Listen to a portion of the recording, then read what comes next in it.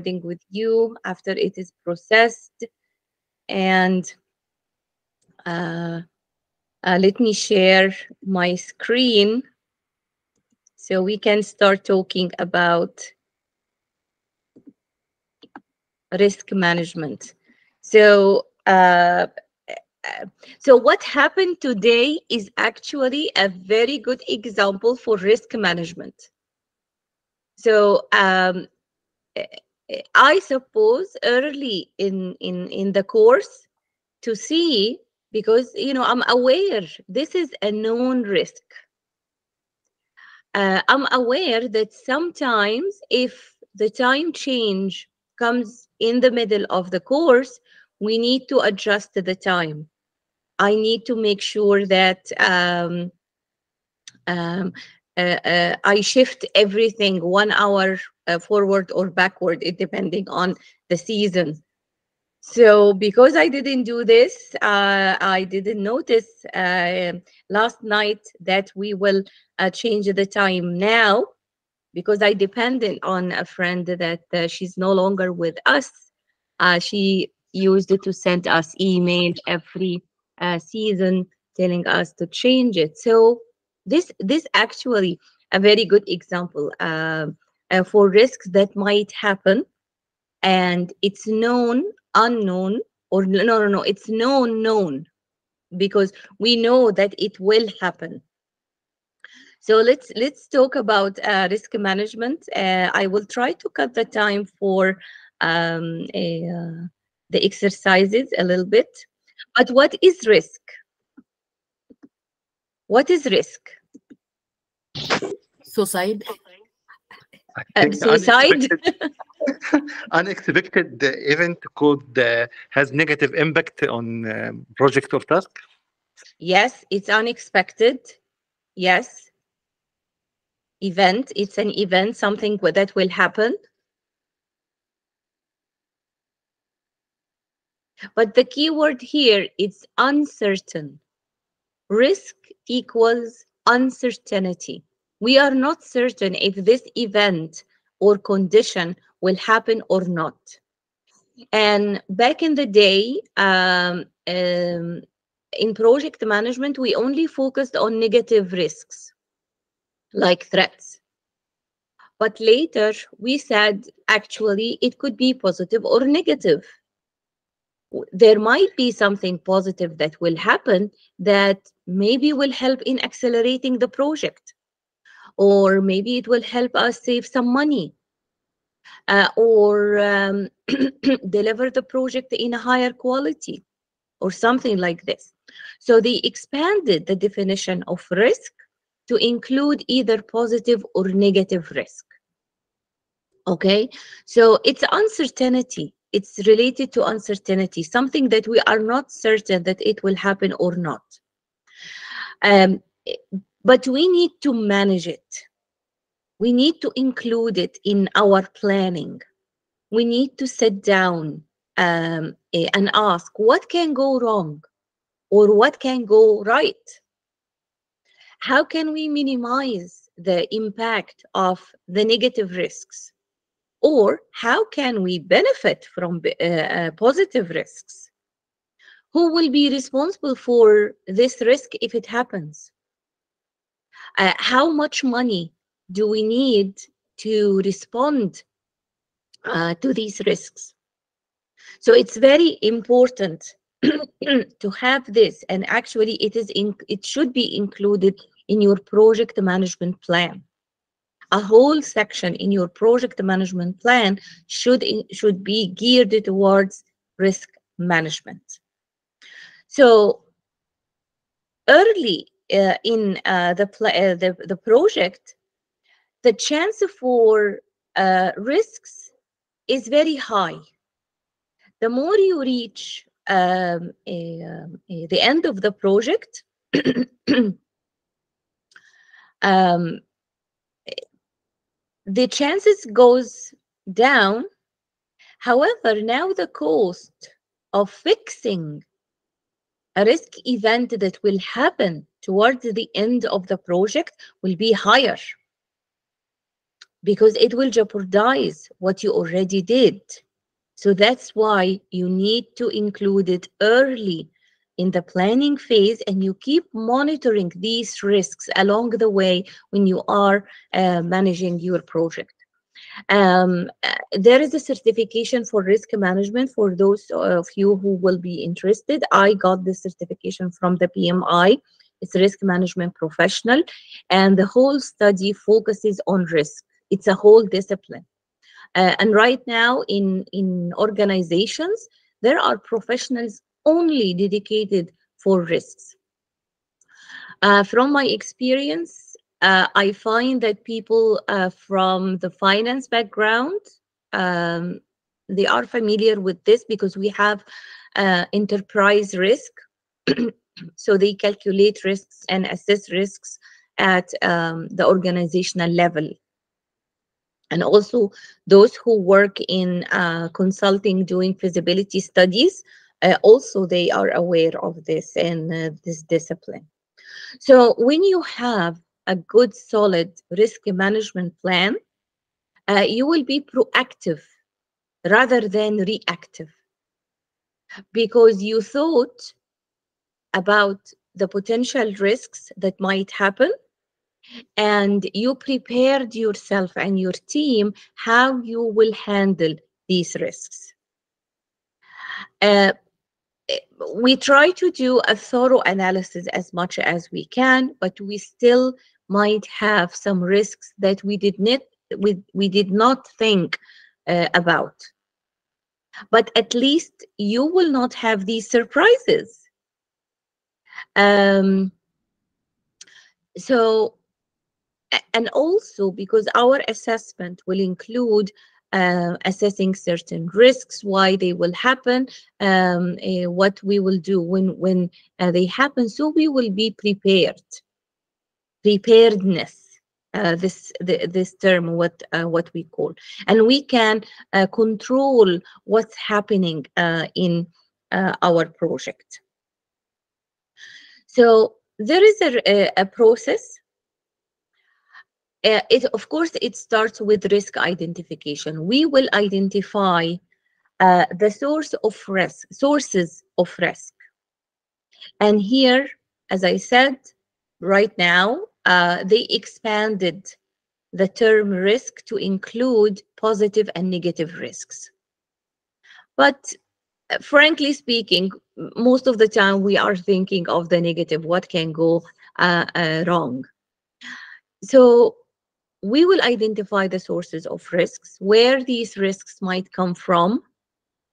We will assess these risks because not all the risks will have the same impact um, uh, in terms of severity, how much damage it, it, it will make to the to uh, uh, to the project, uh, or the probability of happening. Uh, some risks might be, um, you know, one in a million, and some risks might be one in a hundred. So, shall I uh, uh, keep thinking of that risk that will happen one in a million and uh, not dedicate this time and effort and money to a risk that it will happen one in a hundred so the likelihood of occurring or in some other literature uh, they call it probability um, um, will be another dimension that we assess risks against uh, the third dimension is controllability if this happens, uh, how controllable it is? How how can I control um, uh, this? Do I have enough uh, power to control uh, this event? Let me see if anyone joined. Okay, no, we are good. Uh, the third step is to think of the right or appropriate response if this risk happens. So we have we we we need to craft a strategy. If this happen, how can I reduce the impact? Um, um, what will be the contingency plan? Um, uh, the next step is the risk uh, uh, response control. So we implement the strategy or the plan that we created and we monitor if new risks happen. And you can see here this the, this new risks here, new risks here, new risks here, because along the way when you are executing your project, new risks might come. So you need to include it in your risk plan. So that's why we don't do this process once. Sometimes we need to repeat certain uh, steps over and over and over to assess, do we have any new risks emerged? How can we deal with these risks? What is the right response? Do we have resources to respond to these risks? So risk management is one of the processes that we do it um, uh, continuously uh, throughout the project. So the first step is to generate a list of all the possible risks that might uh, emerge. Okay, we have Yes, Muhammad. Yes. Uh, good evening, uh, Professor First. Hi, good evening. Uh, first of all, uh, is crisis management part of risk management or two separate uh, issues? Crisis management is at the level of the organization. We don't use uh, the term crisis management in project management. Okay. However, you could include it in your identify in the step of uh, the identification. And I think the um, crisis, the term crisis, to um, to reflect the severity of the impact Yes, of that but, event. but usually uh, crisis is, is unplanned or not un, unexpected. So if- Yes. if, we return the slide uh, back, just the slide back. Yeah, Here? can we add it here in the new risks? I can, I Uh, can set an example for it. Mm-hmm. Yes, share your example. Yes. Um, um, this year, uh, we were planning to manufacture around 600, 680 million Saudi Riyal uh, to be manufactured. Unfortunately, we have a crisis in cash flow. Um, the banks reduced our credit limit, so we didn't have the money to buy raw material, so our sales have decreased. This was not expected. This was suddenly and uh, unplanned or whatever. Yeah. So Yeah. all this year we were managing uh, as prices, uh, putting strategy uh, step by step hmm and uh, spontaneously actually. hmm hmm Yeah, because you was- you. hmm Nothing was planned and it was suddenly uh, the bank reduced our credit limit. So they whatever cash we get from the market they take it. So we didn't have uh, money to buy raw materials. We didn't manufacture. We didn't have products. hmm and we have to sell to get more money. hmm Well, this is uh, could be classified under what we call unknown unknowns. It means that I am really oblivious, uh, oblivious, and don't know any clue about this event happening in the future. So uh, uh, we classify risks. There are several types of risks. Um, so the step of risk identification, I'm trying to think of all the possible risks that might happen. And I move risks from unknown to known. So, yes, I know that these risks might happen. Will they happen or not? I need to add to assess this. But also in in um, usually in enterprise risk management, what you what you are talking about now is about enterprise risk management. uh, not project risk management. Of course, it will affected uh, your project, but it's it's it's higher level.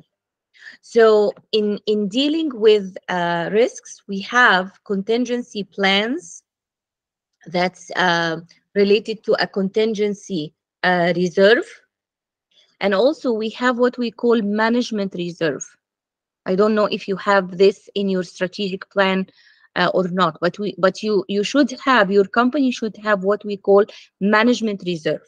So this is a fund that is set aside only senior management and the highest uh, authority in the company have access to it so they can deal with such unknown unknown.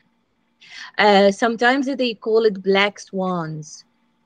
In some other literature they call it black swans because black swans are very rare you know? So uh, this is something a, a very rare event. That's why it's unknown unknown. We didn't know that. But in in the project level in the project level uh, usually we usually you will start with the funds of the project locked in. So this is the term. Let me write it in in the chat box. Locked in.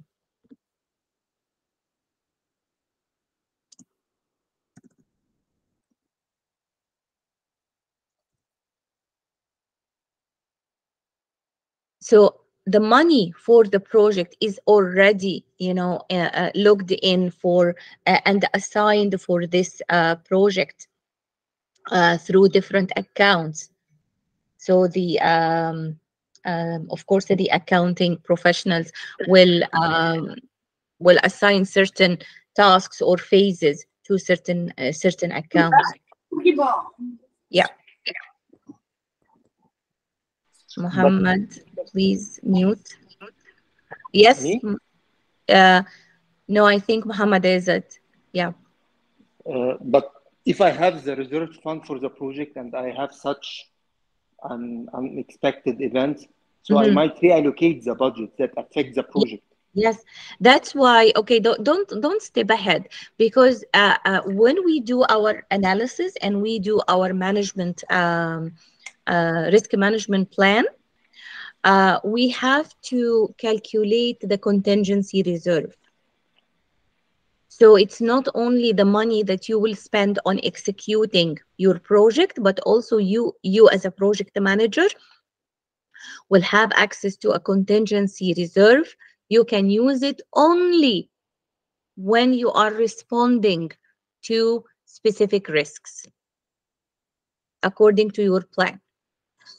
If you faced a risk that is not at the level of the project, uh, it has to be dealt with um, a- at the higher level. So the senior management should have also access to a management reserve so they can support your project through the funds from the management reserve. If you do it or not, this is a whole different story. I have seen uh, when you do, uh, for example, a budget for your department and you include uh, these reserves, the next year when you are asking for the budget and they find that, okay, you did not use uh, the funds in your contingency um, uh, reserve or fund. We will not give you this money for you. I have seen senior management think this way. So department managers uh, try to, to, to use all the budget as uh, allocated for them uh, before the end of the fiscal year. So the, the, the, the senior management will give them the money they ask for. Yeah. So let, let, let's go back to the uh, the risk management process. This risk management process, we apply it at the project level. And actually, right now, I'm working with the PMI on um, updating the risk management uh, guide book. And we also included organizational risks and we included uh, portfolio level risks. We included um, a program level risk because all these risks could ascend to the project level and some of the risks at the project level might escalate to the program and portfolio uh, levels. So back to the process, we start with identification. We identify what could go wrong. We assess these risks um, so we can give enough attention to those risks with the um, highest severity of impact or highest likelihood. and also we understand how controllable a risk is. Uh, then we develop the response. How, if this happens, uh, how can we respond? What we will do? Uh, who will be responsible for uh, implementing this response? How much will it cost us? And this is very important because when we calculate how much will it cost us to respond, we can create the contingency uh, reserves. And throughout the project, we are doing this process iteratively. So if any risks happen again, we are uh, prepared for this. Uh, this is also important. Remember when we uh, did um, the work breakdown structure? Okay, now now uh, other students. Um, yeah. Remember when we did the work breakdown structure, we create a similar structure but for risks. And we will see how, how this will, um, um, uh, will be done. So we create a graph showing uh, the different risks uh, uh, arising in different areas um, and how it will affect or impact. Uh, for those who joined us now, uh, I encourage you to watch uh, the recording when it is ready um, to see um, um, the few minutes uh, before we start, before you joined. Okay. So this is this is the risk breakdown structure. So here, technical, external, organizational, project management, customer, these are the different sources of risks. Where risks can come from. Um, and within each source, that we identified, what risks could ha could happen. And we will have um, a, um, an example that we will work on.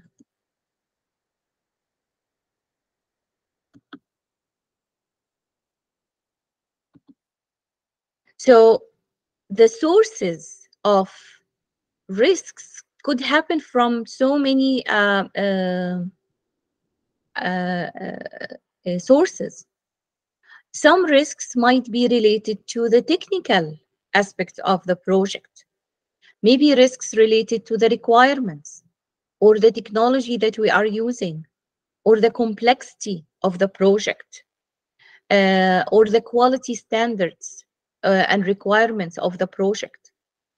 Some risks are external. So in the example that Muhammad Abu Layla shared with us, it was external.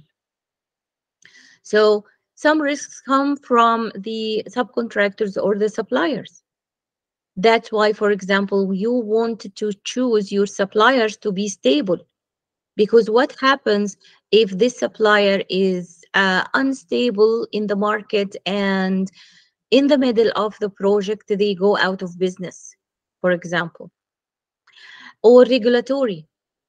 So while you are working on your uh, project using uh, certain compliance standards, the government changed the standards or something related to the market or the weather uh, or uh, maybe wars or unrest uh, in certain areas that will impact, um, you know, uh, maybe trade routes or fluctuation in um, uh, uh, exchange rate or something like this. Uh, some sources are related to the organizational level. Maybe this project project is dependent on another project. So if the other project is facing some issues, it will impact your project. Uh, or uh, you, you face something related to resource availability. There are shared resources with other projects and it will impact your project. Or maybe one of your team members will leave. This is very, very common when we do this identification workshop. Uh, we include this. If it happens that uh, a software engineer will leave, uh, how we will deal with this or problems related to funding or prioritization. So i- i- the priority of your project uh, decreased. So whenever they need uh, resources, for example, they take your team. Uh, also, we have uh, risks related to the project management. So maybe we um, did some mistakes in our calculations, in our estimating, or our planning was too optimistic, or we didn't have the um, uh, the right mechanism to control the project, uh, or we have some communication issues. Uh, some risks might be related uh, to the customer. The customer maybe did not identify the requirements very well. So when when we do this and they it's their time to accept the project, they don't accept it. Uh, or we were coordinating with a certain employee within the customer company, but they they left and the new employee responsible for the coordination and communication um, is is you know um, needs some orientation or doesn't know uh, much about the project. Or maybe they don't have enough training or support or something like this. So this is what we call the risk breakdown structure. So we can understand the sources of the different possible risks that might happen and and and where they can come from and of course it's not just limited to these um, uh, uh, risks. You need to identify that's why here for example uh, there might be risks related to the design or testing or the schedule or the budget or the contractors. So you need to think of these. And you can see that we use questions here.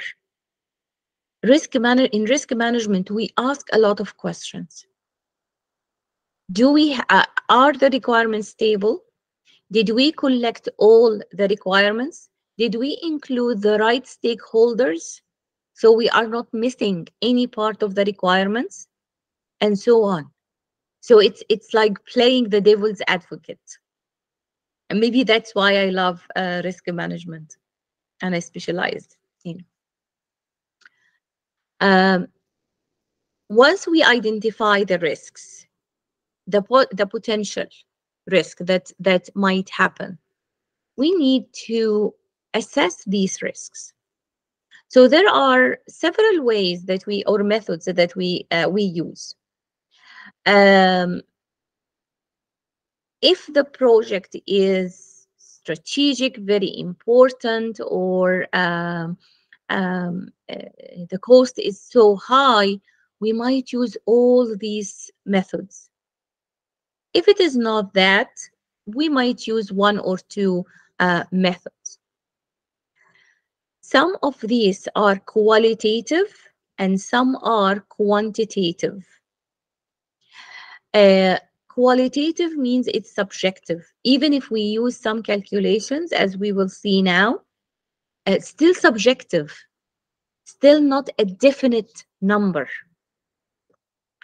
Uh, it's an estimate um, uh, the other uh, methods are um, um, quantitative, it means that it's objective because because we used the inputs and we did a thorough analysis, usually using mathematic mathematical uh, models. Uh, so we have uh, numbers here. So we have a very famous analysis called Monte Carlo analysis. Have you heard about it? So it's one of the um, uh, the methods that we can use and we and, and we need to do it using a software. So we cannot use it um, um, like the same way we will use other um, methods. So some are quantitative, some are qualitative. Usually we start with the qualitative uh, so we can understand the, um, the characteristics of these risks. What is the possible impact? What is the probability? Um, uh, what is the uh, detection, detection, detectionability of this risk? And when we have a risk value high, we can use the other uh, methods on it so we can further understand this risk. So this is this this is a form that um, you, we use, and although we have some numbers here, it's still subjective uh, because it's it's it depends on estimates. So if the risk uh, will um, uh, cause insignificant cost increase in the project, we will give it very low or 1. If it will lead to 10% cost increase, it's 2 or low. 10 to 20, it's moderate. 20 to 40, high. More than 40% increase, very high. Uh, sometimes we add more um, not only the project objectives, but uh, we might include um, other aspects. Um, um uh, for example, resources or staffing. Uh, but usually these are the main um, objectives, and you can see that these are the constraints. How it will affect the time or the schedule. Again, and, and, and see these are all subjectives. We sit together as a team and we say, okay, we will consider 5 to 10% is, is a moderate risk. Uh, 10 to 20 is high. More than 20, very high. In another project, we might increase these numbers or decrease it. For example, this is a very important uh, project. It's very expensive so the 10% cost increase is actually very high because this project will cost us millions. So you might find the numbers totally different. So it depends on the project, uh, the experience of the team, uh, and um, also very important here, it depends on the risk tolerance of the organization sometimes you work with a top management who are risk averse. Uh, they avoid risks. They avoid any changes. Uh, uh, even one percentage change in a plan will give them panic attack. So when the risk tolerance is very, very low in, in an organization, these numbers tends to be very low because we cannot accept risks. We don't want this. We want to be ready 100% for any uh, change in the future. So this is one of the tools that uh, uh, we use. And based on this, remember, we, we will analyze all the risks based on the criteria that we set here. So we will uh, think of risk number one. How about the cost? If it if, if it will happen, will it increase the cost? Yes. How much? Uh, 15%. So it's moderate. Uh, will it impact the time? Yes. How uh, uh, uh, how much? Um, it might increase it to 15%, so it's high. And we calculate a number for this risk. Um, here is a form, and of course you will find that there are other forms that are more sophisticated, but here it's very simplified. So here is a list of all the risk events that could happen. The likelihood of these risks, again, it's subjective. So when we sit together as, as a team, uh, you might have an expert team member who were included in projects similar to your project several times. And they might say, you know what, uh, the likelihood of this problem to happen is high. I have worked in 50 projects and 40 projects of the 50, we faced this uh, problem. So instead of giving it three or two or one, we will give it four. The impact, where we get it from the criteria that we assigned here. The impact is high or low or moderate. Uh, detection difficulty. This is also important. Can we easily detect this risk uh, early enough to respond? Or no, actually, uh, it will crash the system. So it will be weeks before it manifests in the project. So uh, the higher the difficulty to detect this risk happening, uh, we will give it a higher um, a, a higher um, uh, number. And also when, when it might happen. And we will see later that we talk about the trigger. There might be some event that might happen before this happens. Um, for example, maybe there will be some cracks before the uh, the building collapses.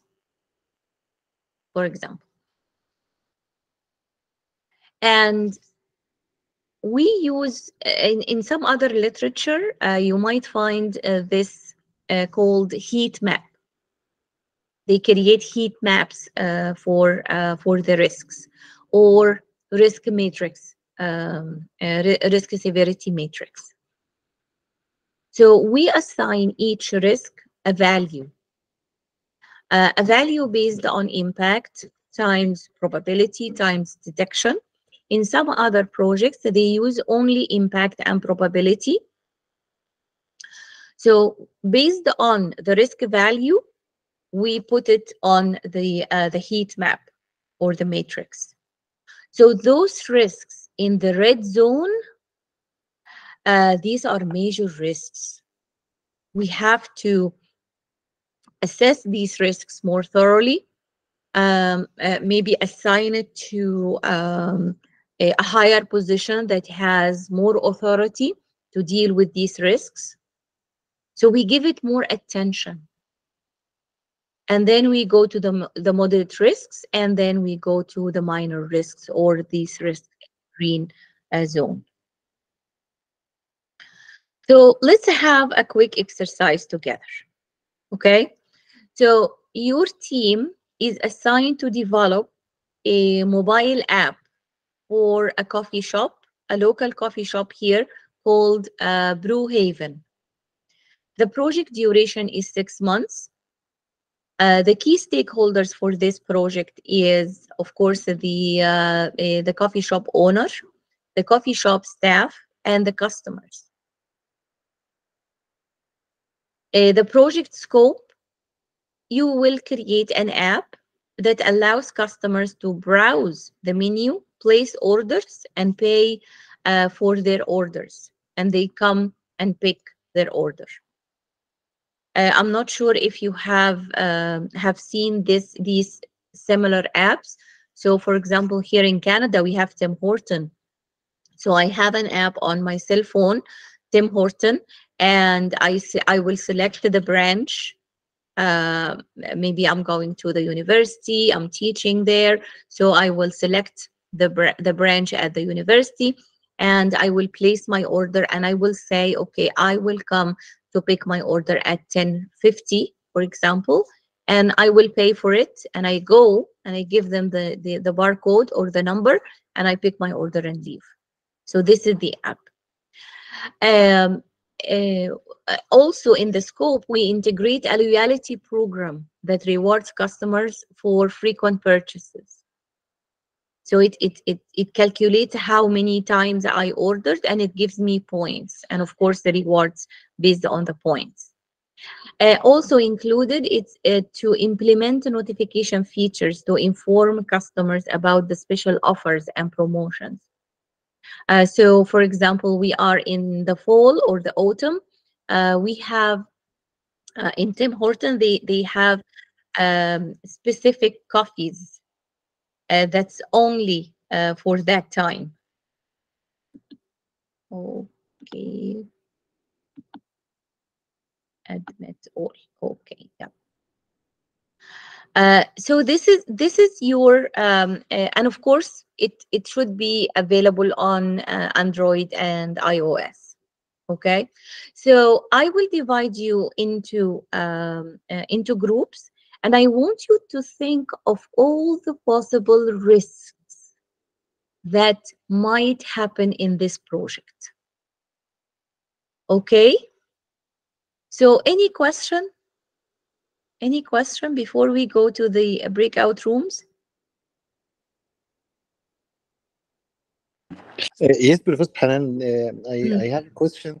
Uh, in the previous slide for this uh, metrics about uh, the risk uh, potential versus uh, impact, Mhm.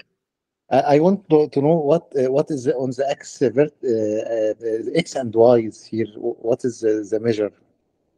Uh, okay, it's it's the risk value. Here, it's the risk value that we will um, uh, we will assign. Uh, that's why if if it is three, it's actually three axes. Uh, if it is only two, impact and probability, so it will be the likelihood. Probability is the likelihood, and impact uh, uh, on the other uh, one. I have it here like this. So we have here the impact, we have here the likelihood, and it's 2D because we o- we, we only include two um, uh, two uh, uh, criteria. Uh, here in this matrix, it should be a 3D, by the way. It should be a 3D because we have three axes, three axes. But in real life, usually uh, it's impact and uh, likelihood or uh, um, uh, or probability. And see that we we sometimes use certain words interchangeably. So uh, uh, impact might be a, a severity. In other tools, probability could be likelihood. Uh, detection could be detectionability.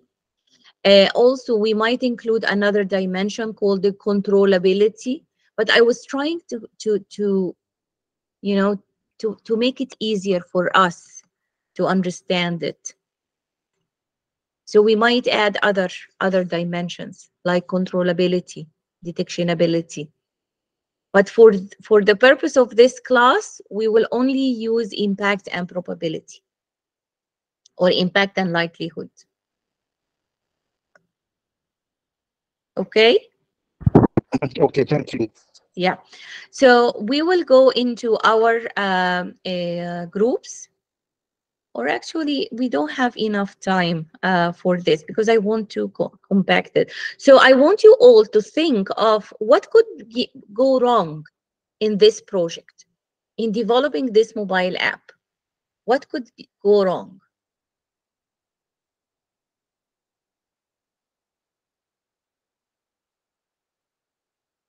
Anyone in the IT sector?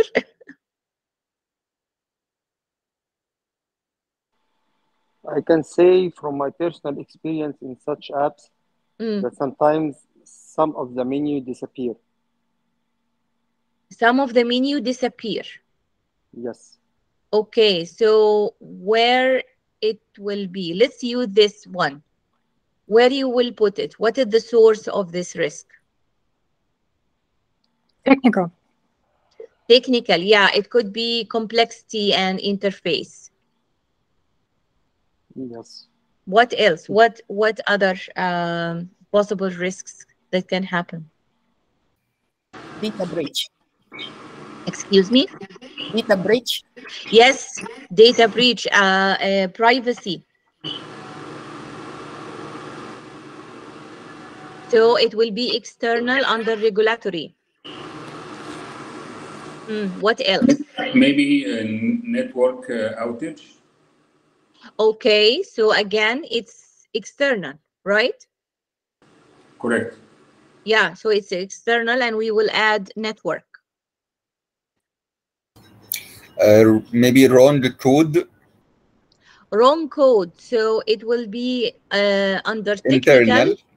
Yeah, and it's Yes, uh, um, maybe under, under technology. technology. Yeah, under technology. Mm. Also, it might be not enough budget. Yes, and and and maybe uh, there is a root cause for this. Yes. So we estimated the um uh, the costs wrongly. Sometimes we also use something called fishbone diagram. Have you heard this before? Fishbone. Ishikawa. yeah. Ishikawa, yes. Okay, let me let me find uh okay, let me share the whole screen so I can we can we can think it, see it has a lot of names, They also called the cause and effect. And both, Yes. uh, Yes. Yes yes so um here. So here for example uh, okay let's let's use another one. Uh, okay. Can you see this? Yes. yeah. So we call it fish bone because it looks like the fish. So here we add the uh, the defect that will happen or the risk that will happen. And uh, we will have the different sources. And under these sources for uh, the risks we we might have all the risks. And um, okay let me choose another complicated one. Maybe this one. Professor, for example, if uh, uh, this application, uh, through application will come more customer than we can um, serve, for instance, they will Yes. uh, put more order than we have staff uh, to serve it. It's also some kind of risks. Yes, yes, yes. So see here, uh, eh, under infrastructure, for example, they identified this risk, and actually they identified another uh, causes for this risk, and one of them they identified another causes. So we, here we are trying to reach the root cause, the root cause for uh, for such uh, a risk, so we can treat the right way. So it's it's somehow similar to the risk breakdown structure, but it's it's uh, in this fishbone um, uh, diagram. So I have actually solved this. So I here identified that uh, we might have technical risks, we might have financial risks, human resources risks, uh, customer risks, competition risks, and regulatory risks. So you said something about security breach. It could be here under regulatory. Um, um, there might be some uh, changes in the privacy or data protection regulations. Uh, uh, or maybe if this uh, app will be deployed in another countries, it needs more customization. Um, uh, legal challenges related to the loyalty program. We have terms of use. For competition, uh, maybe the uh, competing company, uh, coffee shops launching similar apps, and this will impact actually our market share because their apps are better than ours.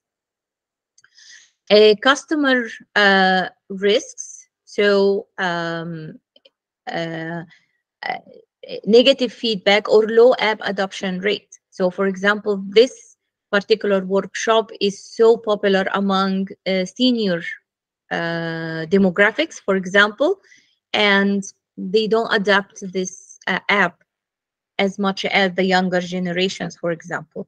So we we we have to have this workshop, and everyone will think of the potential risks. And here also, this could be a positive risk. So the one that you said, uh, we will have more uh, orders than the capacity of the branch or uh, the branches or the coffee shop. This is actually a positive risk, right? So we need to prepare for for this if if this might happen. And we create the heat map or the matrix, and uh, I will assess these risks based on um, a likelihood uh, and impact, and each of these risks will have a number. So, for example, our assessment for data privacy concerns uh, on the impact, it was five. It has a, a very high impact, and the likelihood uh, also is very high. So this is a risk that I need to further investigate and prepare the right the right response if this happen. Uh, for budget outruns, for example, this might happen. Uh, it's in in the red zone, so we have to go to our planning and make sure that uh, we are uh, within the budget and we see uh, uh, if there are certain events that will cause budget overrun. So based on this analysis, we think of how can we respond to these risks. And here we have one, two, three, four, five, five different ways that we can respond uh, to risks. The first one is mitigation or mitigating the risk. So I will try to reduce the likelihood that this risk will happen. Or I will try to reduce the impact. So for example, if if we see the budget outruns that I, I mentioned, I will try to lower the likelihood this will happen. So I might uh, create contingency plans uh, uh, that include a reserve, a certain reserve. So, so if this happens, uh, I will respond to it. Or I will do thorough planning and I will increase my uh, safety factors in my calculations.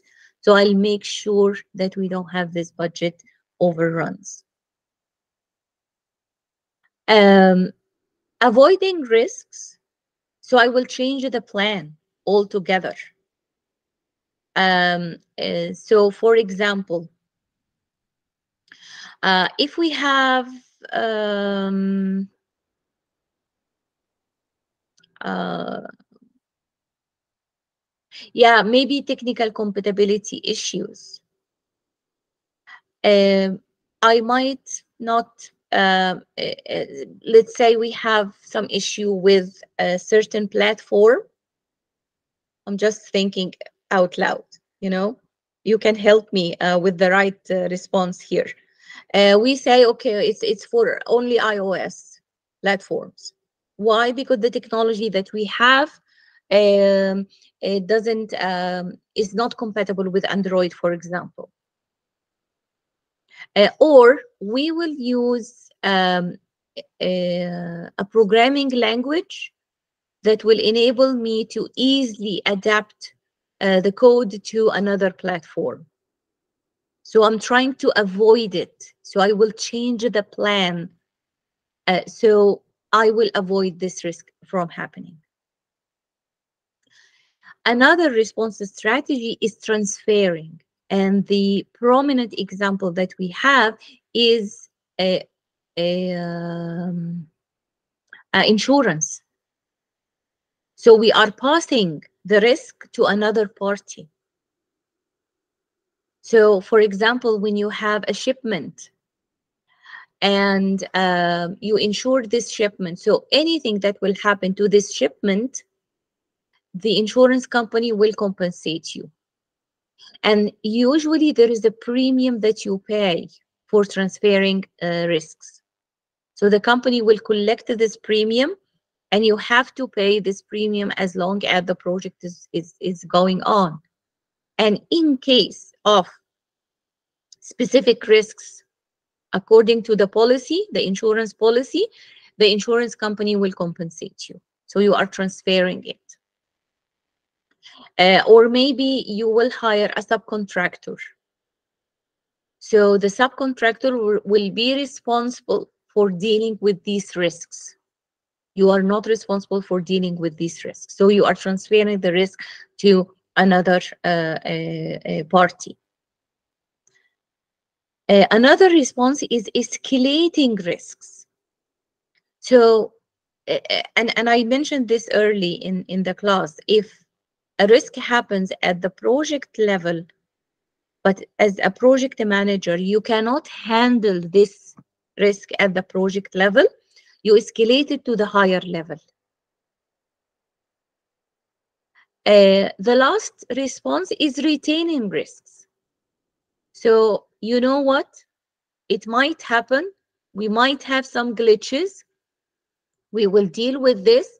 It might extend the uh, the uh, the schedule to eight months instead of six months, and we uh, we are accepting this. Sometimes we call it accepting in other literature.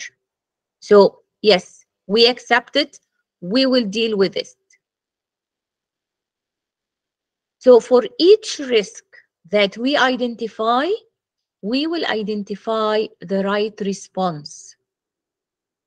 And again, you can see that there is an element of subjectivity um, because you might choose a response that's not suitable. So that's why we have to do this risk assessment over and over and over throughout the project. So based on the responses that you will choose for these risks, whether you will mitigate some risks, you will change the plans to avoid some risks, you will uh, uh, hire a, subcontractor or uh, um, you will have an insurance uh, company or you accept the risk and you you will have a plan to deal with it. If it happens you need to create a contingency plan. The contingency plan will have all these risks uh, the identified risks all your analysis and uh, also alternative plans or routes that you will go through if these risks happen. Uh, if there is a budget that you need to assign to certain uh, responses. So again, it's a contingency. So only you use these plans when a risk happens. So if you are very good in planning, um, and everything goes right, you will not uh, uh, go to your contingency plans. Uh, also, there are risks associated of not having a contingency plan. So this is very important. Risks of poor risk management. Um, uh, eh, this is another form um, that we use it to um, to structure the responses. So of course we, we will have more information than this. This is a very simplified um, uh, one, but the, there are the main uh, uh, elements here. We have the event that created the risk. We have the response that we agreed on. We have the contingency plan. And of course, these are high level. So you might find reference in uh, the contingency plan itself to give you more information about these, um, um, uh, these responses. Uh, the trigger, this is very important. The trigger, the event that will trigger the response. For example, uh, we have interface problems. The teams are work. The team is working on the interface problem, but if it is not resolved within 24 hours, we will initiate the contingency plan. Uh, here, for example, um, uh, user backlash. Uh, uh, if we get a call from top management, we will initiate the contingency plan. So this is the trigger that will trigger the contingency plan, the execution of the contingency plan. And of course, we assign, so who is responsible for uh, this risk? okay, um, let's have a break, uh, like five minutes or so. And then we will um, we will come to continue this. My plan is to have it like uh, one hour and a half class, okay? Um, what if during the execution of project something happened what we did not we didn't predict such as war then um, is it poor risk management? No no. Uh, the, we had this discussion i uh, i believe early um, um, when muhammad uh, talked about crisis. Uh, and and they call it uh, black swans. So this, these are rare events but these are severe events that might uh, impact your project. And in the insurance policies, you will find there are some terms called force majeure. So these are uh, major events that's outside your um, your control. So if you can include such assessment in your assessment, so for example, right now, most of the businesses include a, um, pandemics or endemics. Pandemics means that it's it's uh, uh, it's a disease that that goes from um, a country to country, and also we might have endemic that disease that can be contagious within one country. So before uh, COVID-19, for example, here in Canada, we have H1 N1, I believe it's the swine, the swine, the swine flu. So it was not pandemic. It was not coming from uh, outside the country, but it, it was inside the country. So some businesses had some um, um, some measures um, to deal with such contagious uh, diseases, uh, but at a smaller scale than uh, COVID-19, for example. And, and why this happened, before that, uh, we had something called SARS. So businesses started to recognize that okay we might have these different types of flus or or viruses that might impact our businesses so what what can we do if we handle something like this so it's 11:18 now let's have a 5 minutes uh, break Okay, welcome back. Welcome back. Okay, we have here a question. Uh, uh, for the project earthquake resilience, can we just accept the risk that during the execution another earthquake might happen? And as a result, we did we don't know when we can continue the project, especially if most of the staff will leave the project. Mm. Uh, well, actually, in some projects, uh, we might consider a risk that uh, um, not even very specific, like another earthquake that will happen, but if it is a risk that um, uh, we don't know. And the impact will really severe. And we have to shut down the project or end the project. Even in business um, uh, uh, business planning we do it. So uh, in in business planning we create the exit strategy. At the same time we are creating the business strategy. So uh, yeah in some in in in some um, uh, in in some projects we might have like a port. Is it b or p? I'm not sure. It's it's it's, it's a port plan. It means that uh, we will we will uh, shut down the project. Uh, and you might think okay but we have partial um, uh, uh, deliveries the deliverables sorry that we uh, we did what we will do it um, um, how can we re- redeploy uh, the team members. So it, it might be uh, a part of your uh, risk management plan. Yeah.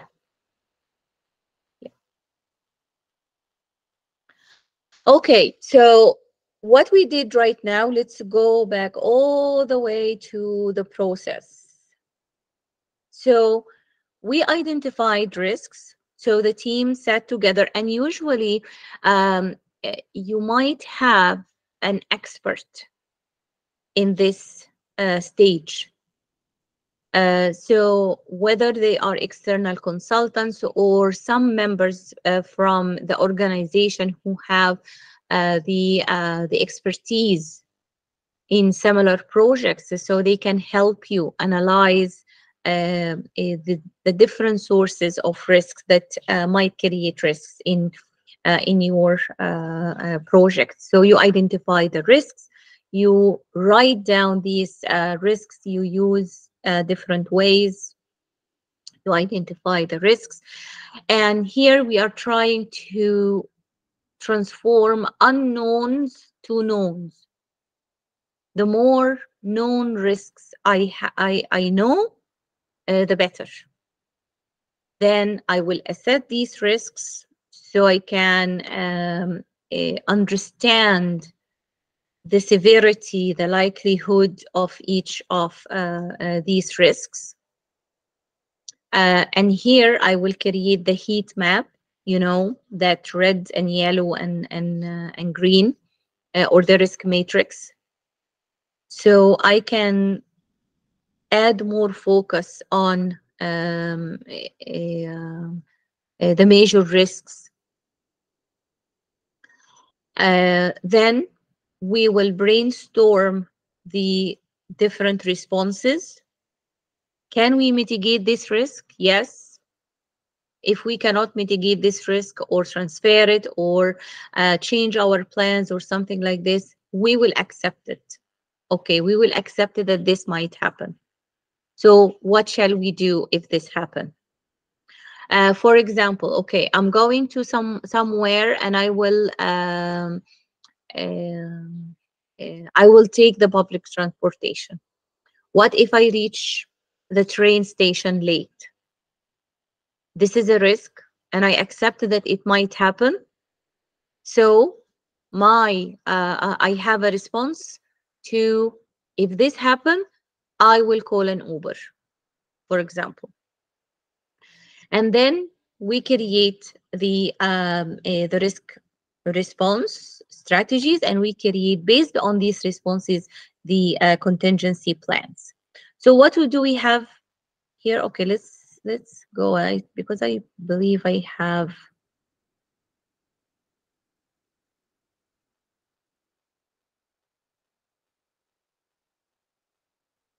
Uh, okay, so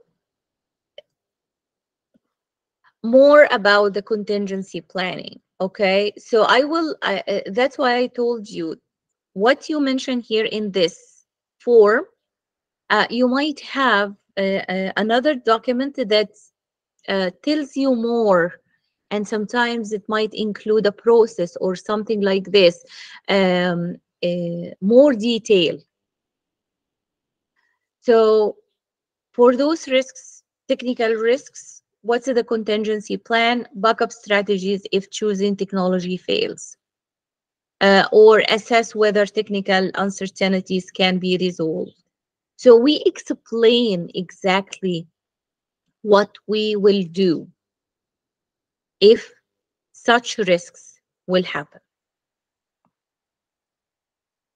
Uh, so back to the Brew Haven, uh, we identified several risks. I did not include everything, but I included um, a few ones. So for the risk technical compatibility issues, the team decided that if this happened, we will mitigate it. Uh, so it means that we will change the plans so we can respond to this uh, risk. Uh, so the contingency plan is uh, conduct a thorough compatibility testing and quality assurance. Uh, what's the trigger? Frequent issues arise. And actually, we can here specify if the issues arise uh, are more like 10, sorry, 10 in one month, for example. So we have a specific number that will trigger if if we reach issue number 10 in one month, we will stop everything and we will conduct a thorough compatibility uh, testing. Who's responsible for this? It could be the project manager with a specific team member. Uh, it could be uh, the testing uh, manager or the quality assurance specialist. Another risk event, severe outage or technical uh, uh, glitches. What's the response that we decided? We will avoid it or we will transfer it. How? More explanation. Use cloud-based server uh, with redundancy or have a backup uh, payment system uh, for the customers. What's the trigger? Severe downtime time. Maybe we, we specify more than 24 hours. So in the 25th hour, um, we will move into another uh, cloud-based uh, server. Um, who's responsible? We can assign it to a specific person in the IT team um, who will check the server downtime. Um, and once we reach the, the trigger, they will uh, initiate the contingency plan and so on. Uh, yeah, this one is also good. Budget overruns. We decided to, to mitigate. How? We will conduct uh, periodic financial reviews to control expenses. So throughout the six months of this project, the app project, uh, we will conduct uh, financial reviews every month. And what's the trigger? If the budget deviation is more than, for example, 20%. Uh, who is responsible for this? The finance manager. So any question um, for anything that we uh, we discussed? Remember we were discussing mainly negative risks because in the definition, the, the current definition now about risks, it's just an event, unexpected uh, or uncertain event that might impact positively or negatively your project. So that's why the uh, the project management institute is uh, also adding more literature about uh, opportunities. Yes? Yes, ex- uh, excuse me, doctor. Uh, when we are studying or uh, uh, thinking about the risk, Mhm. this is we check the risk during the execution of the project, or Yes. already the project done and the, after the operation of the project. Yani we expecting the, the risk that I already finished my projects and already implemented, then I will expect the risk will come after the the the project started or during the execution of the project. No, du- during the uh, during the execution of the project. Okay. Yeah, because You- after you after your project is done, you will hand it over. Right? Okay, so when we are talking about the operation, for example, the network problem or technology, that's mean Mhm. the project is finished, then I am making some kind of uh, demonstration or in the some like that. Then I can Mm. I can check. the if- example that we have. yes, for example. No, I I know. I think this is during the execution of the project. Okay. Yeah, if Mm. if it is related to to prod uh, to operations, after I hand the the the product to the operation, so uh, uh, for this uh, Brewhaven, they hire the team to um, um, uh, to develop the app. After they finish, it will be the responsibility of um, uh, the IT team in Brewhaven case. Okay. So, So it will be part of the operation. And actually, in operations management, we also include these. We have risk management as well. okay, so I should consider in my mind while I am executing the project Yes. that is Yes. I will maybe face a problem of uh, implementing, for example, the network or whatever related to the Yes. technology, right? Yes. Yeah. Okay. This could be okay. You will develop the uh, the project in five months, and one month you will test drive the app, for example. Or maybe you have one one year contract with the company to develop and manage the app. Okay. Okay. Yeah, but but your question is very good because uh, as I said, risk management you will find it at the enterprise level, uh, at the portfolio level, at the program level, at the project level, and also in operations management we do risk uh, risk management as well. Okay. For uh, example, uh, in manufacturing companies we have what we call preventive maintenance. yes. Why? Because this is a response strategy to a risk that we identified. So we will have these frequent uh, maintenance checkups and, and uh, maintenance and uh, uh, uh, uh, reviews and checkups to make sure that nothing will happen to interrupt the production. Excellent. Mhm. Okay. So, uh, based on as a practical, when we are doing a project, we will afraid mainly about two impact will affecting due to the risk when we are studying the risk, the duration time and the budget, for example. Mhm. Yeah, this is the, the only two things I will be afraid that is due to the risk during the execution, it will affecting me to have delay to execute the project Okay. to have another point if this risk will affecting me in the budget which i put in the project if there is something else i will be afraid from this one Yes. Um, uh, it's it's it's related to the project objectives. okay So cost, as you said, something that will impact the budget, maybe budget overrun, uh, or something that will impact the schedule, Okay. or something that will impact the scope.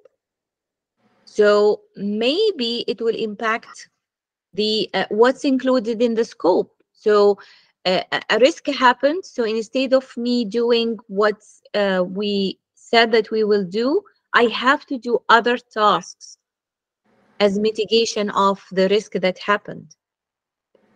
Or it will impact the, uh, the quality. Yes. Yes.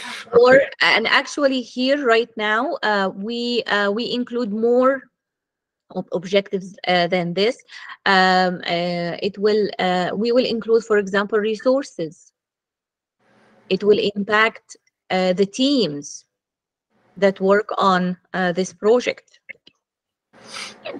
Okay. Okay. Thank you, Doctor. Thank you this is very very relevant uh, for example in construction Yes. So what if something will happen that will impact the, the health and safety of the teams uh, in, uh, on the site? Yeah. Okay. Thank you. Yeah.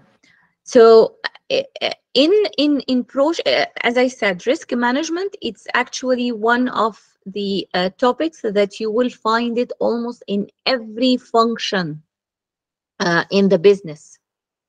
Uh, and even when you are doing your business plan for your department, for example, you might do some risk uh, risk management as well. And we use similar tools. You will find that you are using similar tools. Uh, you will come across some um, some job titles, for example, enterprise risk manager. So this is a, a, a- a professional in risk management and, and they don't only focus on a specific unit, no, they do it on um, eh, the organization itself. Yeah. So when you are thinking of the risks, try to think of the project objectives or constraints and you you try to think of all the sources for the risks. Risks coming from the technical side, risks coming from the financial side, risks coming from the human resources. For example, one of the risks I thought uh, about uh, uh, um, key team member members leaving the project or maybe they are assigned to different projects so their focus is not on this project or the, we discovered that they lack uh, the technical skill for coding for example. Or uh, the way they coded uh, the uh, the code uh, is not that efficient. Or they didn't do a thorough documentation. So uh, the implementation team eh, you know they don't have enough information to implement it something like this uh, here also even staff resistance to adopting the new app uh, risks coming from the uh, customers, uh, risks coming from the competition, risks coming from uh, the government regulation or or things like that. So we, here there is no one size fits all, uh, but you want to be safe. Being safe better than sorry, as we say. Okay, yeah. So as I said, we were talking about negative risks. And for many years, we only focused on negative risks. Uh, and even the word risk was associated with something bad that will happen. But in recent years, they decided no, actually, risk means uncertain event. So this could be a positive or negative event. So opportunity also is, is good. So it, it will be very beneficial for you as a project manager to discuss with the team uh, what if something good happens? How can we benefit from this? So as we did with the with the risk responses for the negative risks, we have also risk responses for the opportunities. Um, for example, uh, we are digging the foundation, we have access to one excavator, and during the execution of the project, another excavator is free. So now we can use two machines instead of one. So we can finish this uh, step earlier so we can accelerate the project, for example. Uh, or um, one of the team members were assigned to another project. They were working with you 50% of their time. And during the execution of your project, they finished the other project and now they can work 100% uh, of the time. Uh, or maybe uh, a supplier um, uh, contacted you and they said, uh, you know what, I can give you a discount if you can, if, if you order uh, the whole quantity at once or something like this. You know, I'm, I'm just thinking at the top of my head. So there are different responses that also we can respond.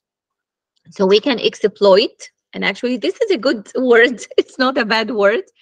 Uh, it means that um, uh, we make sure that this happens. We make sure that this opportunity happens. So maybe I will be proactive and contact the supplier and they say, and you say, you know what? If I if I order the whole uh, uh, quantity, can you give me an extra 10% discount? Uh, or you share. So maybe you create a joint venture with another company and you work together so you have your capabilities they have their capabilities you so you can share the profit uh, or um, uh, you capture this opportunity by benefiting. Or maybe you collaborate with another department uh, so you can share um, uh, this benefit. Um, or you enhance. So you think of actions that can increase the probability or the positive impact of the opportunity. So maybe the uh, the uh, the supplier uh, uh contacted you and saying, okay, if you order the whole quantity now, I can give you 10%. And you can say, how about 15? So now you are increasing the positive impact of uh, this opportunity or you escalate it again uh, you you you identify this opportunity uh, but you cannot take the decision. For example uh, one of your team members discovered that if you use a certain alloy uh, it will enhance the performance of the project. Okay but we are working with specific design uh, requirements and I cannot take the decision myself to replace a material with, another material. So I will escalate it to the engineering department, for example, and I ask their opinion, can we replace this material with another material or not? Um, uh, the, uh, the last one is accept. Okay, if this happen i will take advantage of the opportunity um, but i am not going to take active uh, actions uh, to pursue it. I'm not going to call the vendor.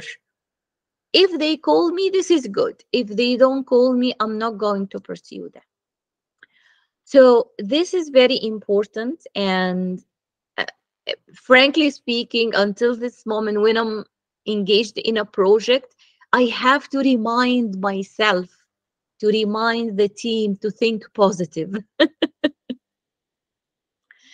um, that's why I use the uh, six thinking hats. Have you heard about sin? Uh, I talked about the uh, uh, six thinking hats before. Um, because one of the hats is actually uh, very optimistic you know if if everything will work well and even more So we can include these optimistic scenarios also uh, when we are doing our analysis. Uh, all, all, all groups uh, fight for the black hat. All- Yes. yes. And actually, uh, as human beings, we are wired to think of uh, the negatives three times faster than we think of the positives. And I think it's part of the evolution uh, because we, we, we need to uh, detect the dangers uh, in our environment. So that's why we need to remind ourselves to um, uh, to think of you know the positive. So, for example, here um, some positive risks for uh, the Brewhaven um, app. So here, positive user feedback and adoption. The opportunity, the mobile app receives overwhelming positive user feedback, increasing customer adoption and loyalty. So uh, see here, this is a, a, good opportunity, but if I'm not prepared for it, it might crash uh, the app. Uh, and and actually, it it happened. Um, I believe uh, Princess Catherine of Wales in in the UK um, appeared one time wearing uh, a dress from. Uh, it's high street. It, it's something like h&m but it's a different uh, brand. And uh, that day the website of uh, that uh, brand crashed. Because it was affordable uh, i believe it was like $200 or something. So all the women everywhere uh, uh, went to buy the dress. So it's a very good opportunity but if we are not ready uh, it might tra- trans- transform into a risk or it might pass and we don't get uh, we don't capitalize on it. So the response here is to exploit this opportunity by featuring positive reviews on, on the app uh, promoting it as a user favorite and launching a referral program to uh, to increase or encourage users to bring more customers. So okay i i i, I have to be prepared for this. And also the it team should be prepared for this. So we have overwhelming uh, number of users using the app at the same time for example. Uh, okay we have here efficient uh, resource allocation. The opportunity the project is efficiently managed uh, resulting in resource savings so actually, instead of the six months, we managed to do it in five months. And actually, um, we didn't need uh, three software developers. We we needed only two. So we can we can save. So the response mitigate uh, resource waste and uh, uh, redirect to save the resources toward enhancing the app the app's features. So I can increase the scope and include uh, other features that I excluded earlier uh, because I didn't have much time or um, uh, or uh, uh, budget for this. So it, it's very beneficial actually to think of uh, the the positive as much as we think of the negatives. So any questions so far? Any question? Okay. So eh, this is very important. Okay, we we identified risks. We decided how we will deal or respond to each risk, positive or negative. How this actually impact the project in numbers? So it will impact it in two ways. We will create a contingency fund. So if we need more money, we will use this money to implement the response. And also we will add time buffers. Uh, so it will not impact the schedule. So contingency funds are funds assigned to cover the project risks, whether we identify them or unknown. Because we don't know what we don't know. So we can we can assign uh, one element says unknown risks. What if something happens that we didn't think of? And um, these contingency funds are divided into contingency reserves and management reserves. The contingency reserves are to cover the identified risks that you set with, with your team and you identify them, you specify the specific response uh, responding to these risks, and you calculated how much money you need to cover this. The management reserve, it covers the unidentified risks or unknown. Um, from experience, contingency reserves are the authority of the project manager. So yes, I can have some fund to cover this. Uh, the unknown or unidentified, it's um, um, it's in the hands of um, higher personnel, maybe the sponsor of the project or someone in the senior management. They have their management reserves. And in many cases, the management reserves are related to some strategic fund. So the senior management can uh, uh, authorize funds from the management reserve for different projects. Uh, for time, we need to create time buffers. So and and actually we use these uh, these terms and even in on the personal level uh, now literature or books talking about uh, uh personal life um, managing your budget things like that uh, or productivity we use these uh, terms as well so um, adding a cushion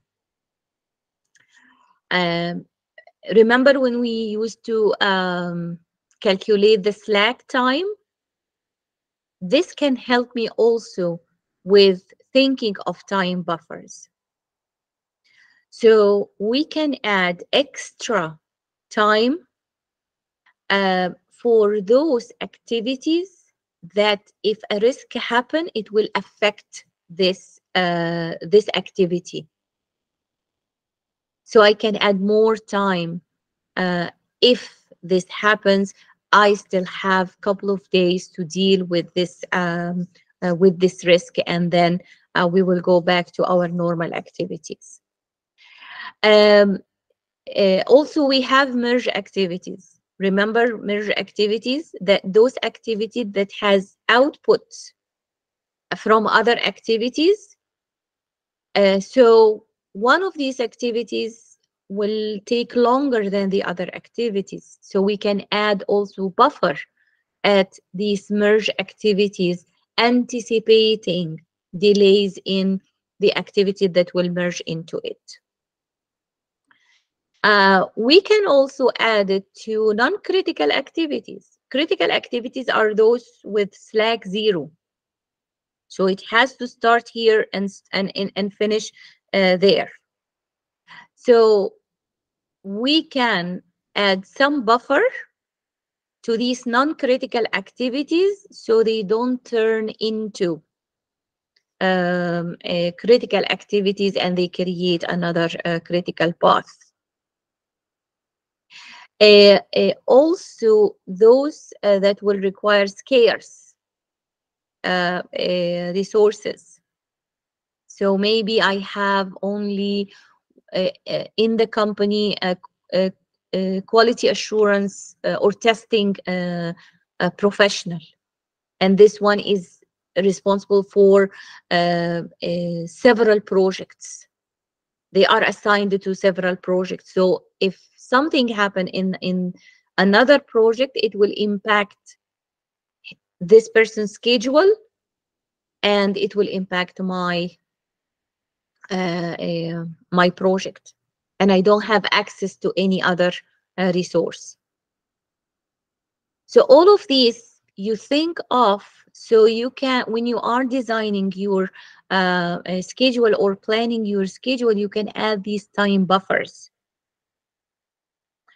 uh, here for example uh, uh, these these different activities on the left uh, you will calculate it the normal way and you will create the budget baseline for these activities. Uh, then you will add budget reserve. So these are the contingency reserve or maybe contingency plus management reserve so you will have the actual project budget it's the budget baseline plus the budget reserve that you created uh, as response to uh, the different uh, risks. Uh, any other any question so far?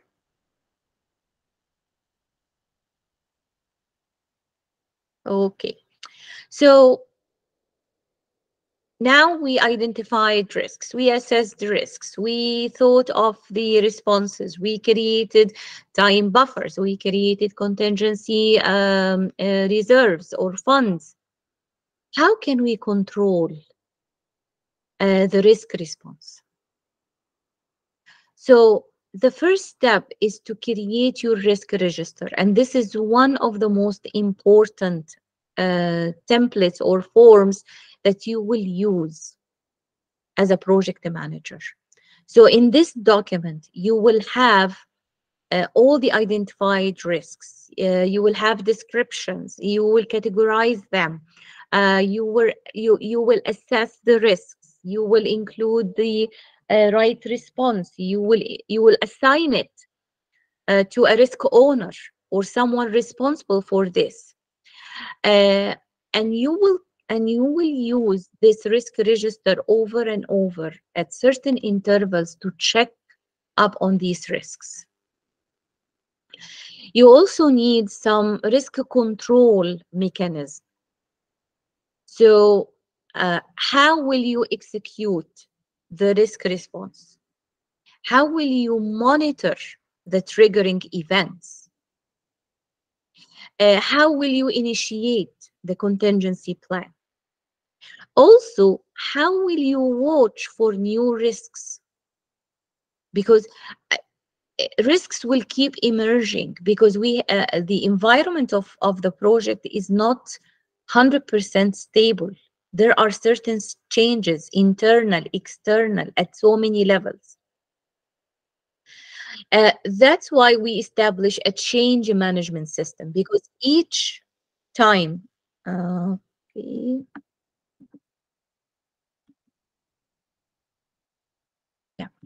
because every time we face a new risk and we have uh, to initiate a, a response, we are making a change. So we need a system to control the changes. So we need a system to monitor, to track, to report the risk.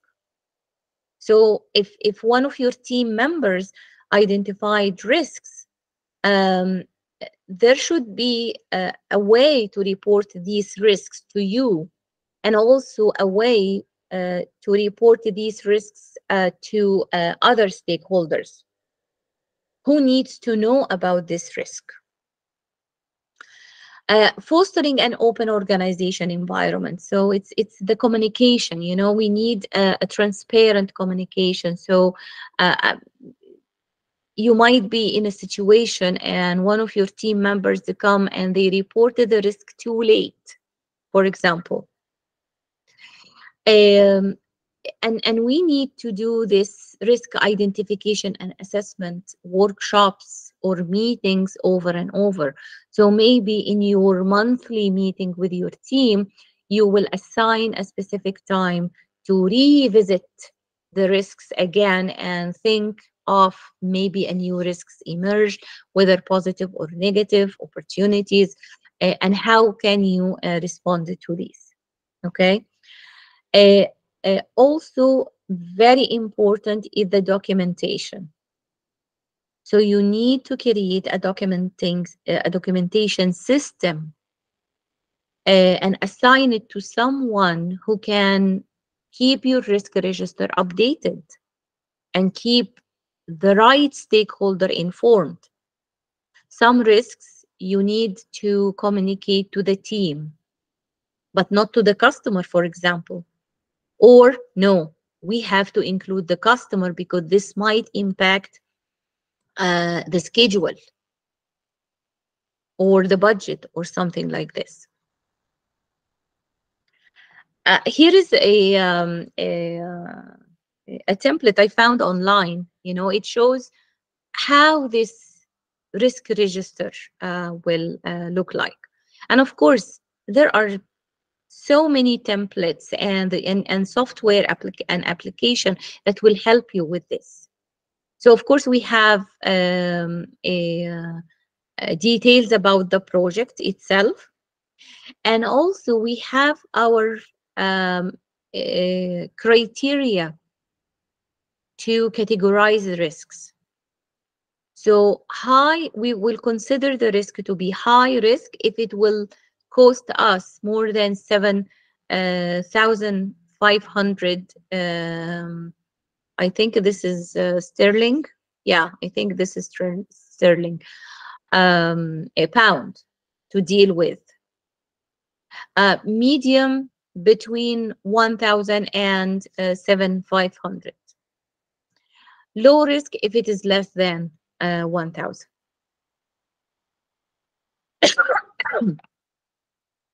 uh, of course, here, you know, uh, they have approximate uh, uh, probability uh, times impact in terms of monetary value. in some other ways, we might have an abstract number. So, for example, probability 5, impact 5. So the risk uh, value will be 25 and this is the highest uh, risk. So this is the most critical risk that we will deal. And it, it, depends on the scale or the way that you use. I usually use one two three four five scale for uh, probability and the impact. And i use this monetary value uh, to define what is considered the level 5, what is considered level 4, what is considered the level 1, and so on. Um, here is, they have, for example, risk author. This is the one who writes or detected uh, the risk. It's different than the risk owner. This is the responsible person for the risk. And here they have the risk actionee the, the, the person who will deal with the risk. So for example, if we have a sub-team for quality assurance, so the risk owner might be the team leader, but the risk actionee might be a team member who will act actually, who, who will perform the test, for example. Okay? So the more detail you add in your risk register the better actually. Because you can you can here see everything. And you need a, a system. So this register gets updated. So that's why uh, in our regular meetings uh, we will assign some time to revisit the risk register and make sure that we deal with this. Uh, for those of you who work in IT, you might be using different terminologies. Uh, you might be using issue log, log and backlog. So these are some of the terminology that are used in uh, in in IT. Uh, also, certain industries they might have also certain specific terminologies. So in manufacturing, we had specific terminology that we uh, we were using. Uh, in health and safety, for example, they have uh, other terminology that, they are um, using. So any question? Any question? Okay, we are we are wrapping up. So so here for the change uh, control management, uh, we need to identify the sources for change. Uh, so are these changes related to the scope uh, or related to the implementation of the contingency plan? or sometimes these are improvement changes. So um, uh, we discovered an opportunity to improve, so we will change to enhance something. Uh, and we create a system. Uh, and usually, when we say in project management there is a system, it means that there is a um, a process, steps, and documentation. So whenever there is a change, uh, there is a change request form that has to be uh, completed. Uh, of course, someone will identify the change. Uh, they will um, uh, think of the expected effects uh, of these changes mainly on the schedule and budget, but it might affect other aspects of the project objectives. Uh, you need a system to review these changes or these change requests to, to evaluate it and also to decide, are you going to approve it or disapprove it? So uh, I'm not sure if I uh, shared this uh, story with you, but um, one time one of um, uh, my students he was indian working in rural india in communication and his company uh, was assigned to build a communication tower. Um, they did this or they were working on this and the customer said there is also a software that needs to be set up uh, can you help me to set up this uh, software so the project, uh, the team member went to the project manager, asked them a permission uh, to implement or or uh, to set up the software, and the project manager refused. And that team member, who was my student, he said, This is an example of bad leadership because we could easily do this. It will take less than two hours from my time, and um, you know, I will have a happy and satisfied customer. Uh, but in the discussion within uh, the class, they, they they came up with certain uh, things. What if you missed up the setup? Uh, what if this setup was assigned to another com company and the company refused and they found that this is breach of contract, for example. Um, uh, so the project manager was right to disapprove uh, this change request. So in real life, some changes will be disapproved based on the uh, impact of the change on the schedule or the budget or the quality or the stability of your um, project. Uh, you need to negotiate and resolve conflicts of change or condition or cost. So you might implement a change, but you will find that this change will impact something else. So you need also to detect this and see how you can handle this. You need also to communicate the change to the stakeholders or the party that uh, either will do the change or will be impacted by the change. Uh, you need to assign this uh, change to someone who will be responsible. That's why we have change request forms uh, in the change request form, I don't know if I added here. Okay. Okay, I might add uh, here um, a template. Uh, part of the template will be to describe the change. Another part will be the approval or disapproval and why.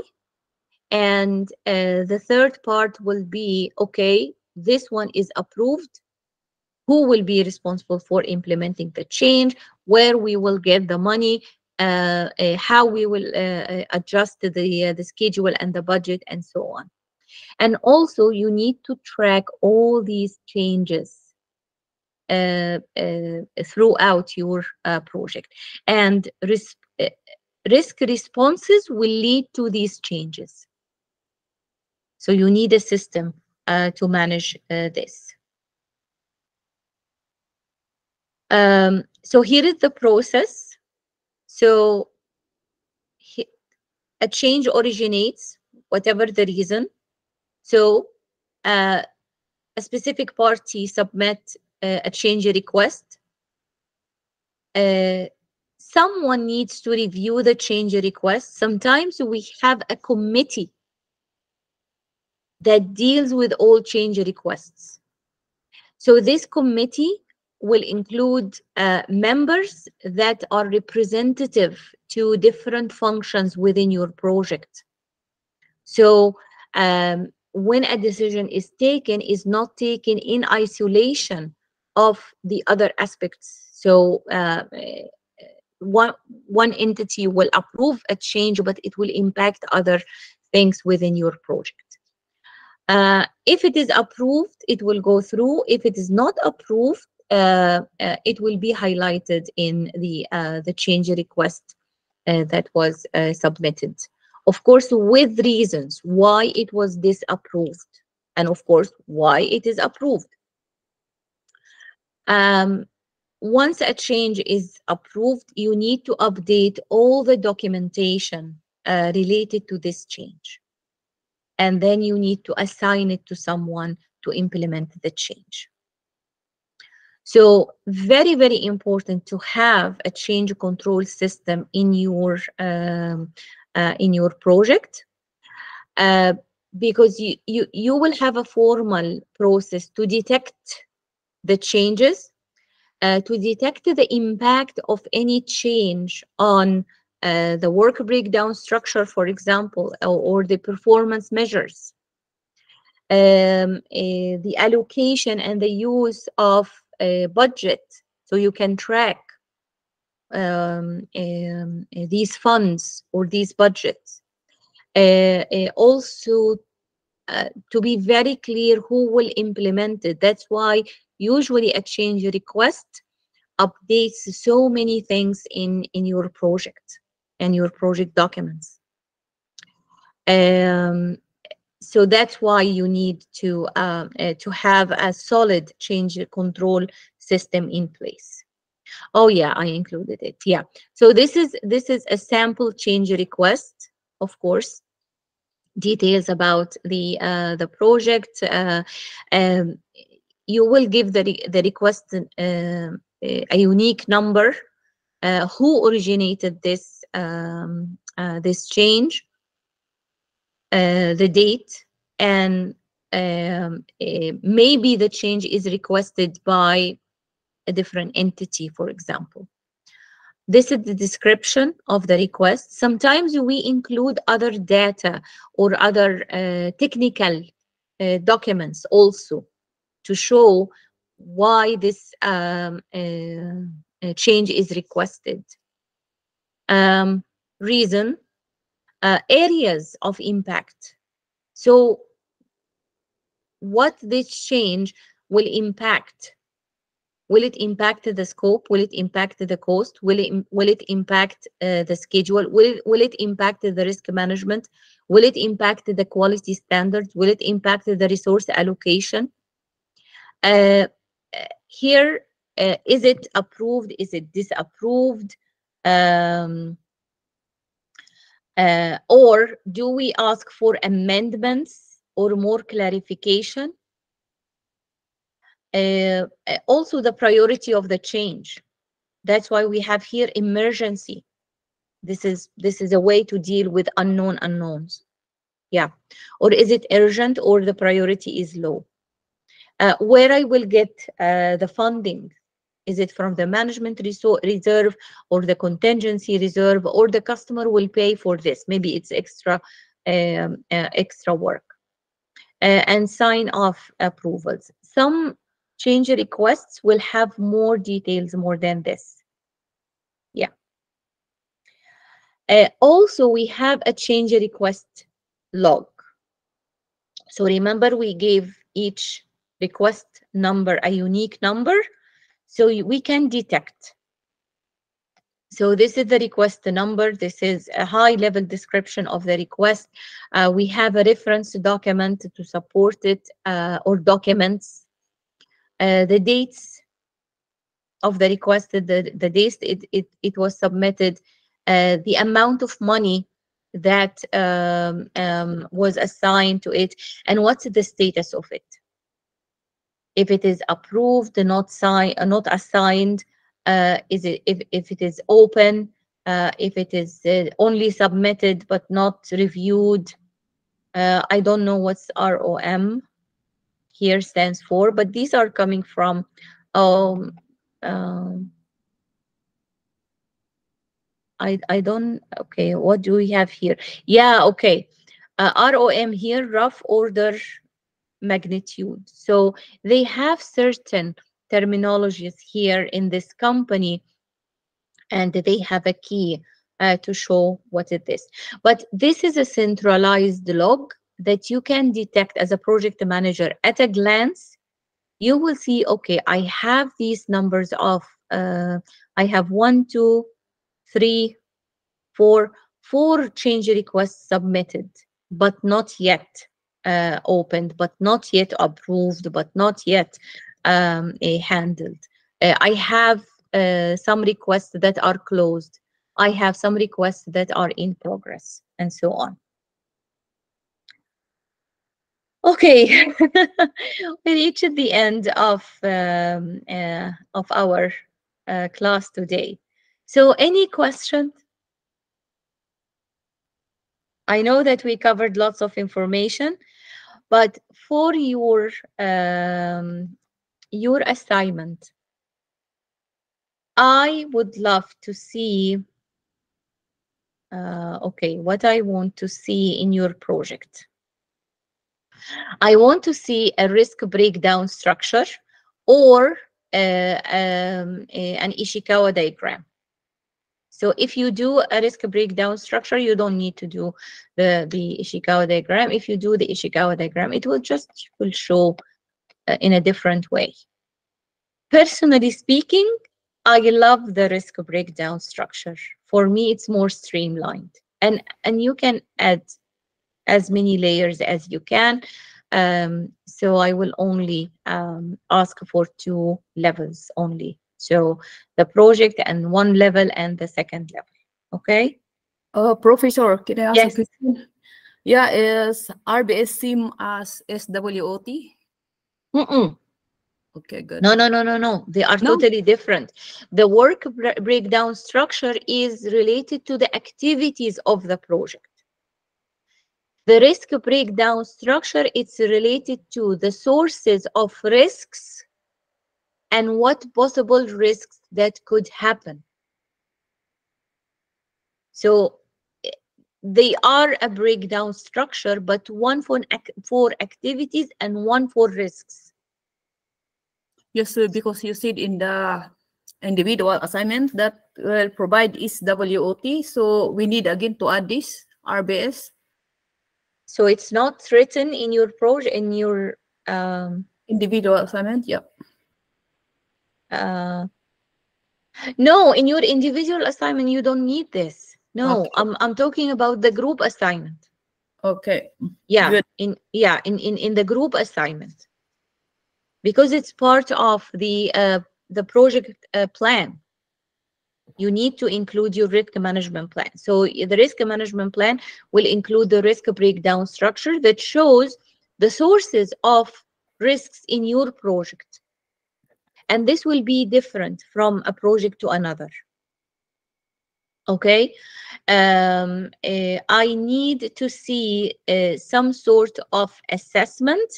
So I need to see um, a, a heat map. So the identified risks and what's the level of the risk? Is it a major or moderate or minor? How will you uh, calculate this? I ask you only to calculate the impact and the likelihood. And again, it's subjective. So the impact is here is three. And why is that? Because this will uh, cost certain amount of money uh, or or something like this. So only the impact and the likelihood of the different risks. Um, uh, of course, like a table showing how will you respond to the to the risks. Uh, well, for me, if you include uh, five risks, in different sources. So for example, to make it easier for you, um, eh, for example, the technical risk, you identified only one risk, the external risk, only one risk. It's okay, you know. So in total, five risks in due to different sources. If you want to add more, yeah, why not? If you do the uh, uh, the brainstorming and you have this, capture it. This is work done. so I I expected to see uh, the uh, the heat map. I also expected to see uh, a table that showed the response. How will you respond? So here, I, I I would love to see a risk response matrix. How will you respond to the risk, and what is the contingency plan? And maybe think of a trigger um, uh, for uh, for the contingency plan. Uh, yeah, I think that's it. Uh, you can include some positive risks as well. Yeah, you can include some positive risks. I don't. I don't want more than this. So I, do, I don't want uh, more than this. So see what what I did to the uh, Brewhaven case and do uh, something similar.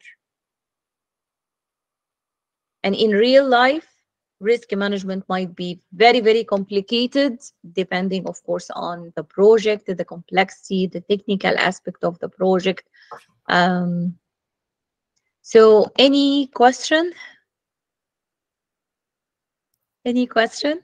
Thank you for that clarification so that we cannot submit a bunch of pages on you. okay. yeah, one more thing. Would you like to move uh, the time uh, to 9 a.m. instead of 10? So we can accommodate this one hour uh, time shift. Okay, Liazat said okay. Yes, okay for me. Okay. Judeline said yes. What the others? Yes, okay. Okay, Chan, yes. We actually can do poll in the chat, in WhatsApp chat.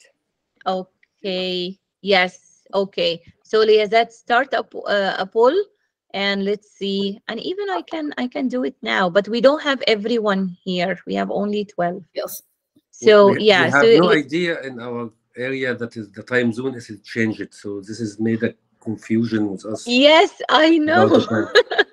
I know. In some in some places they are don't change it. Yeah. we don't know that it, that changes, so we keep it. So just uh, when we have any announcement, please, Jan, just to tell us about. Uh, Okay, what we will- happened what happened is is that my alarm updated during the night. So instead of waking up uh, at uh, waking up at a certain time, I I wake up one hour late. so that, okay. Yeah. so so Liazat will start a poll so we can we can um uh, we can uh, decide okay okay and if you have any question please uh, don't hesitate to ask me risk management is really interesting and you will have an interesting discussion uh, in your teams okay Okay. so thank you Yes, so much and Thank i you. thank you and i will see you next week bye bye Thank you. everyone Bye Thank you, bye. Doctor. Thank you. Jan was Bye. Uh,